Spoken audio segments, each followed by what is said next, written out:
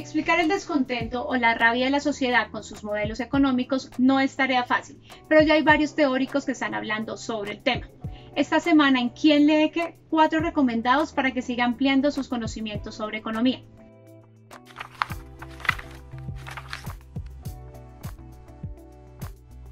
El primero de ellos está en la lista del Financial Times y trata temas sobre la guerra comercial tan vigente hoy en día. Se trata del libro Las guerras comerciales son guerras de clase, de Matthew Klein y Michael Pettis.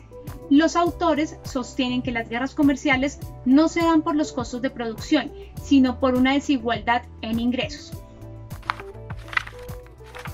El segundo libro habla sobre las burbujas financieras y los fenómenos económicos que llevaron a la bancarrota a varios sectores económicos. El periódico El Mundo de España recomienda el libro La Gran Apuesta del periodista Michael Lewis.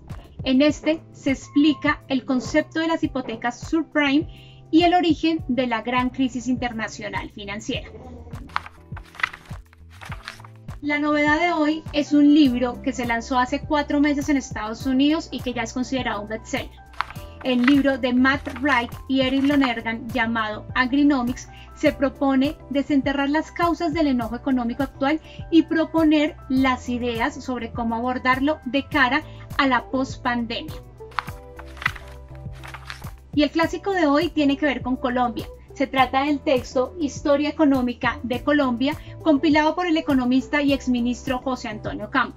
Este texto ya va por su cuarta edición desde 1987 y se ha convertido en todo un clásico debido a la rigurosidad de sus artículos y los diversos ensayos que presenta.